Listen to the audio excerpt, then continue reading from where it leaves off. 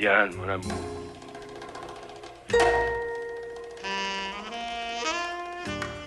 Richard, je t'aime. Je t'aime. Chérie. Richard. Chérie.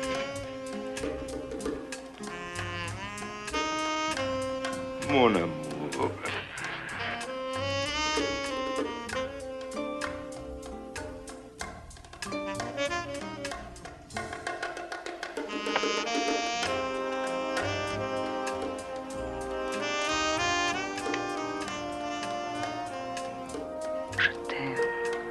T'adore. Alors, j'ai besoin. Comme toujours.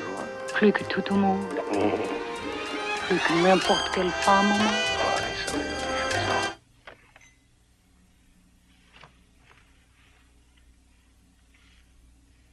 Richard, je t'attendais depuis si longtemps. Ah, chérie. Chérie.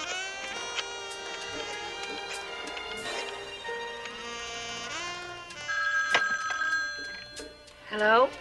Oh, is this North Helen? Uh, yes. Who is this? This is Frank Beardsley. Oh, uh, are you having more problems? No, no, I just called to thank you for helping me with my daughter today. Well, now that's that's the worst reason I ever heard for calling a woman at 11 o'clock at night. Al, I'm a little out of practice. Well, as a matter of fact, so am I. Oh, for heaven's sake, ask her out to dinner. Who's that? Colleen, what are you doing on this phone? I have to make a very important call, and he gets off duty at the taco stand at 11.15. Colleen, hang up. I'm sorry. Don't be. I could never have done it without her. How about dinner? Tomorrow night. Well, Mother, it's 11.14. what time would you like to pick me up? About 1900? Oh, aye, aye, sir. Good night, Helen. Good night, Frank. Good night, Colleen.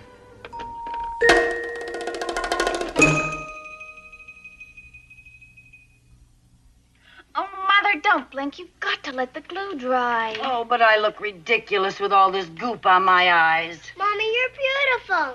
Sure are. Thank you, but is it necessary that I wear these eyelashes? I got your father without them. Mm, but you were younger then.